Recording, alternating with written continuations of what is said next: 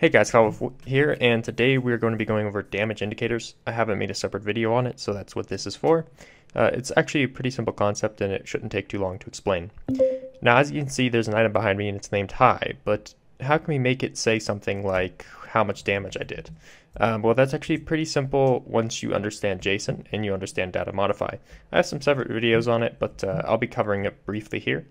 So you want to have a sign somewhere dedicated in your world. Uh, you can, it, you want to have a dedicated one. It's the most efficient method. Uh, and when you put down a sign that has, and hold up with me, don't get confused.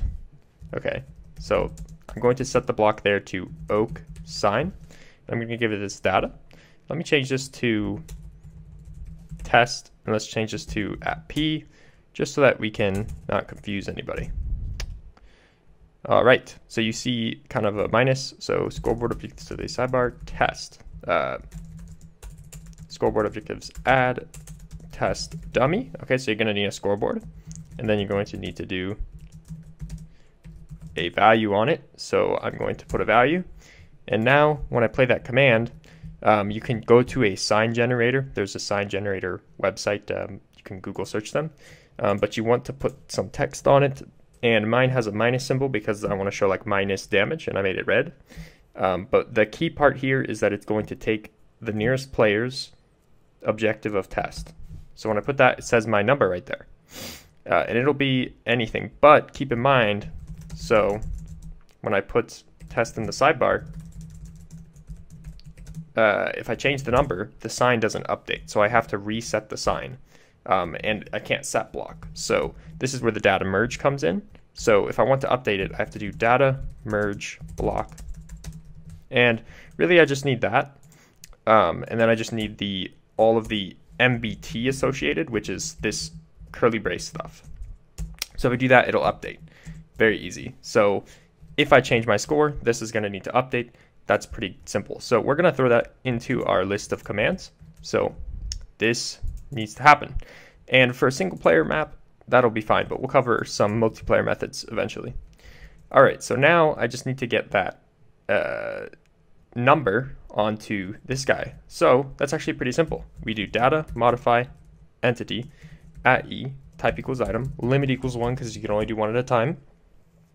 Um, so we're going to change this entity's data. What data are we going to change? We're going to change its custom name. And what are we going to do? We're going to set it from, so we're going to put something else's data there, and we're going to put it from that block at that coordinates, and we're going to take its text one. When we do that, now it says 420. Awesome. So that's our next command. And we throw it onto the stack. And this is kind of how I work at these things. I've known this for a long time. I did this, I actually did this exact thing a very long time ago. So I'm basically just repeating my steps from about a year and a half ago. Um, anyways, so now that we have that, um, we're pretty much done. Now we just have to make it more um, variable because obviously when I click this, it's just going to set it to that. So scoreboard players, players set, uh, add, add s test one. So we'll just uh, go like that. So now when I click it, uh, at p, we're in command blocks.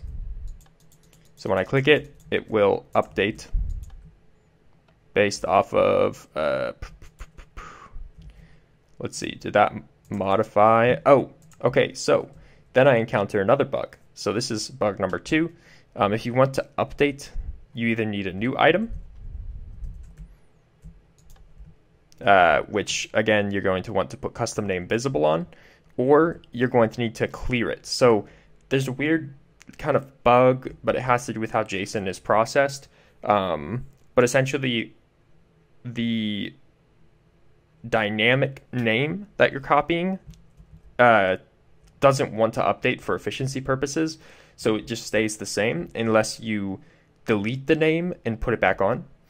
Uh, lucky for us, we only want to show it for a brief second, so we're going to just you move on anyways. But that's something to keep in mind if you want to use this on something else.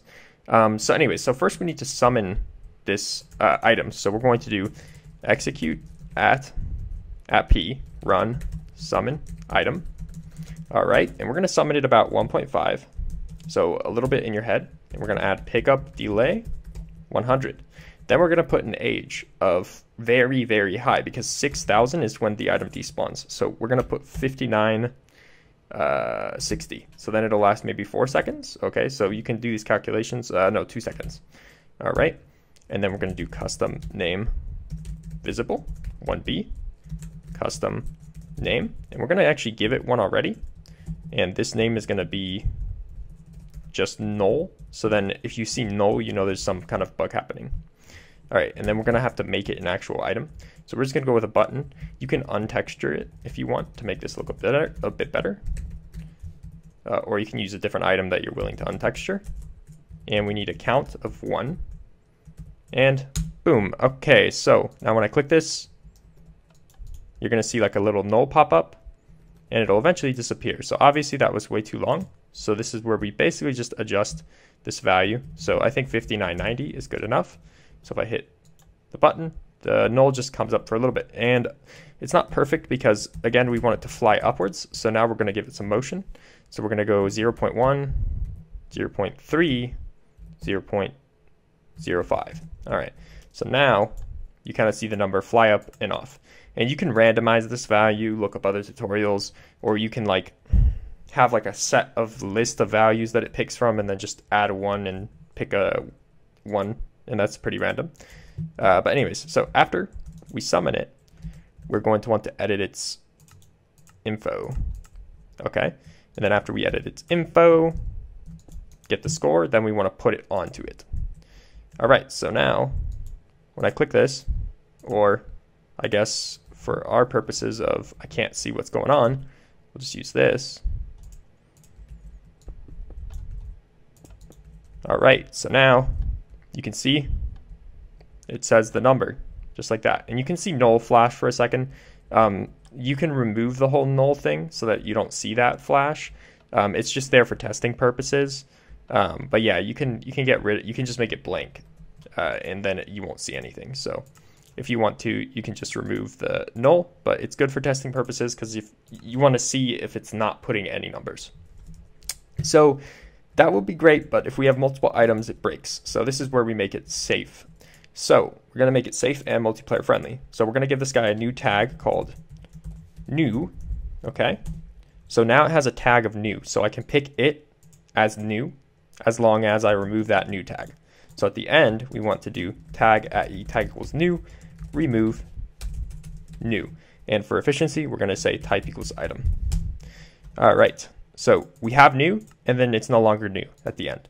So now we're going to change this to say tag equals new. So if I have, say, an item over here, it's not going to change its name. It's just going to keep changing this guy's name. Or, sorry, I kind of did a brain fart there. All right, so there you go. I just moved the sign location. All right, so now only the new thing and not the one on the ground.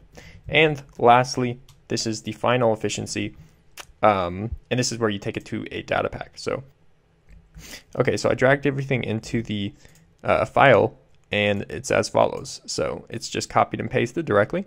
Now this is where we make it multiplayer friendly. We do tag at s add this, and we make this do tag equals this.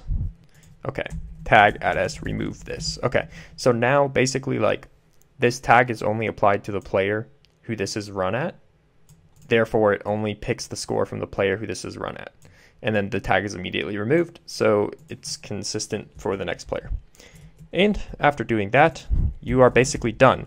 Just change this test to whatever score you want, and you have your damage indicator. So function test indicator, and boom, it just kind of flies up and does the damage pretty much perfectly. And you can adjust, you can like have multiple of these summons um, to have different motion, or you can randomize the motion on your own. Anyways, that's pretty much it, guys. I'll link this uh, function file in the description. But other than that, thanks for watching, and I'll see you in the next one. Peace.